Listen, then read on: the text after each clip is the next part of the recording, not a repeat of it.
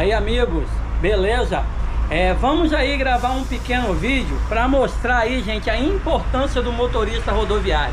Você que queira ser motorista, eu sou um dos grandes incentivadores aí. Você, criançada aí, que está começando agora, seja um motorista rodoviário, as empresas de onde estão precisando. Pessoas que são profissionais e pessoas também que saibam dar um bom atendimento aí aos nossos clientes, principalmente os autistas, gente que eu levo aqui, ó, no peito, né? Tô sempre defendendo essa causa, né? Principalmente a criançada que chega aqui, autista, que fica toda boba quando vê um ônibus. Então, vamos aí ter cuidado aí, tá? E também com os deficientes, pessoal. Pessoas também com doenças não visíveis. Às vezes aí o motorista sai pulando, né? Acaba machucando a coluna de alguém que está com um problema na coluna, com operação no joelho, algo que você não possa ver, mas está interno. Então vamos lá mostrar para vocês, estamos aqui no ônibus articulado. A gente vai sair daqui e vamos passar na terceira ponte. Vamos sair aqui, né, devagar, ó, muito cuidado, né? Pedindo sempre a preferência, ó, que é difícil, tá? Você ter a preferência Estamos trabalhando aí com ônibus articulado. Estou é, mostrando para vocês algum trecho, porque eu faço aí algumas aulas práticas dentro das minhas oportunidades que eu tenho aí na vida. E o porquê a gente fala aí de dirigir com segurança, trabalhar com a direção segura, econômica, é por causa disso aqui, gente. Quando você vier aqui para a rua, você vai pegar um trecho como esse em obra que é a terceira ponte, ó. Vários cones, carro dos dois lados. É, mal, mal dá para passar um ônibus. Vamos acompanhar o nosso colega ali na frente, ó. É um ônibus também rodoviário. Observando aí, ó, que os carros é, praticamente joga em cima do ônibus, ó. Quase não tem espaço, ó. Sempre olhar aí no retrovisor de 4 a 6 segundos. Nesse caso, pessoal, a gente está olhando um pouquinho mais, porque eu estou monitorando aí todo o meu lado direito, porque temos muita obra aqui, ó, e também tem carro lá, olha o carro lá tentando ultrapassar, ó. Então o que que você vai fazer? Divide o meio da pista para que você possa é, proporcionar aí mais segurança na sua viagem. Observe que aqueles carros estão passando lá naquele veículo. Aqui já abriu um pouco mais, eu vou encostar, ó. Né? Mantendo aí a distância de segmento. Observa aí, pessoal, que quase aconteceu um acidente, ó. O veículo não fez a mesma coisa que a gente da frente. É, o outro carro tá andando bem apareado com ele, ó. E aí, um propício aí de um acidente. Então é bom você já acompanhar, você que é motorista de ônibus, você que está se preparando para poder vir aqui para a rua, isso aqui você vai passar.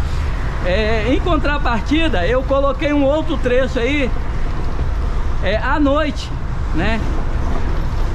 Andando aí na BR-101, mostrando aí a simpatia no trânsito, como aí dirigir aí com simpatia, respeitando o direito do outro. Olha, observa ó, que praticamente a gente não tem espaço quase nenhum. Né? O ônibus é um pouco mais largo. Isso requer aí muita experiência e sabedoria do motorista. É, acompanha esse vídeo aí até o final. Que você, criançada, você que vai estar tá lutando para ser um motorista, é, todas essas regrinhas que eu estou mostrando é que eu busquei aprender aí para que eu pudesse é, me sair bem aqui fora, né? Dirigindo aí com segurança, economia e responsabilidade, né? E quando a gente chegar na hora de atender o nosso cliente final, que é o passageiro, também saber aí ser um bom atendente, ó. Observe esse ônibus da frente, ó. Ele praticamente, ele praticamente segurou muito, não se antecipou, né, das suas ações e aí tá mantendo aí um veículo aí num propício a um acidente. Sempre aí mantém aí, gente, dividir a pista em primeiro lugar, sinalizar com antecedência e aí acompanhar aí o veículo no retrovisor aí, tá? Esse trecho aqui é um trecho bem complicado. É, daqui a pouco vai entrar o horário de pico, vai ficar um pouco pior. E para você que está aí do outro lado, que queira ser motorista, não desista do seu sonho. Assim como eu sonhei e estou realizando, você também pode sonhar. Aqui no estado do Espírito Santo, pessoal, todas as empresas de ônibus estão contratando estão sempre precisando de motorista. Tem muitos colegas nossos que estão se aposentando, né? E deixando a profissão. Precisamos de pessoas capacitadas, pessoas que queiram trabalhar, né? Com amor à profissão e também aí que seja um bom atendente para poder cuidar das nossas crianças, como fossem nossos filhos. Principalmente, né? As pessoas com deficiência, tá? e pessoas com doenças não visíveis. E, e os nossos autistas, que também aí, né, pega ônibus aí diariamente e muitas das vezes é mal recebido, não, não por todos os motoristas, por parte de alguns, por causa do estresse do trânsito e dia a dia. Então vamos se conscientizar todos né? Que independente desse trânsito, dependente da situação, as pessoas que entram por essa, por essa porta, elas não têm culpa do que está acontecendo aqui.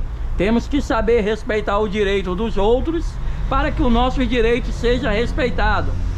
Tá? O, o veículo acabou de derrubar o cone, né? É, muito, é até para rir, né, pessoal? Então a gente vai mostrando aí, né? Se fosse um gelo baiano daquele, já tinha acontecido uma avaria no veículo. Então, senhores motoristas, é muito bom a gente filmar aí né, em tempo real para estar tá mostrando para vocês que nós condutores de ônibus também erramos. E esses erros não pode ser frequente. É muito bom aí você estar tá assistindo, aprendendo. Você aí que é criança, que ainda é adolescente, Tire a sua CNH, sua carteira de habilitação e venha ser um motorista de ônibus. Venha fazer parte de nossa família. Precisamos muito de pessoas que trabalhem aí com coração, com amor, pessoas que queiram fazer o bem, pessoas que queiram cuidar do outro, não de si próprio. Então bora aí, pessoal. O veículo acelerou, deu uma freada porque aí, né, a a canseira fechou aí. Então é muito importante você tá vendo esse teste real que o veículo da frente, né, um motorista profissional, em poucos metros já fez dois erros. Então uma freada daquela com o passageiro que ele deu ocasionou um desconforto.